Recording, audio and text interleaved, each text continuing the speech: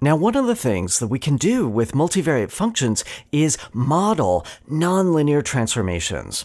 In the same way that we used matrices to model linear transformations, linear changes of coordinates, we can do nonlinear changes of coordinates. Remember our old friend polar coordinates, right? r and theta, you're in the plane. You can convert from that to Euclidean coordinates, to x and y, and you do so through a multivariate function. In this case, if you're going from polar to Euclidean, you can look at the function x equals r cosine theta, y equals r sine theta. That has two inputs, two outputs. If you want to go the other way, you take the inverse of that function.